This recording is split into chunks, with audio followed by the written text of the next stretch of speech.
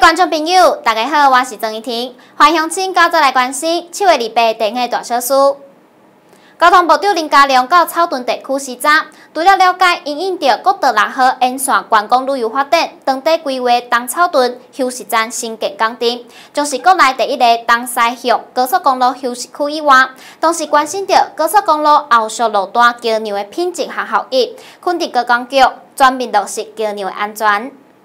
那这个休息站的话，跟各位长官报告哈，国六的。第一座东山向高速公路休困站，将伫国道六号东草屯交流道附近来设置。交通部长林佳龙前往会客来听取说明，表示讲休困站为设计甲功能，拢加入着观光元素，或是希望讲带动着观光发展。啊，不管是上厕所啊，用一些啊简餐啊，还是停车休息，啊，都可以呢满足哈这方面的功能。而且我们也期待这是一条呃国道六号，也是一个观光大道。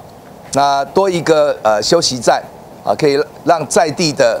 啊这些观光的呃特产啊，尤其是很生鲜的啊这些农特产哈，有一个可以呃贩卖的市集。依照着高速公路局交通的监测，为了讲运营国道六号沿线观光旅游发展。各原本拍算规划作为着收费站的空地啊，做成休困站，总经费大约是三亿，将伫今年底动工，以及民国一百十一年完工，提升着国道服务品质，又可以舒缓这个塞车的通道一两公里，所以是非常重要的。那第二个就是，呃，我们草屯也需要来提振观光跟生计。那未来鸟嘴潭的新建搭配这个休息站，会规划有农夫市集。另外一方面，我们交通部针对。呃，中彰头呃这个交界附近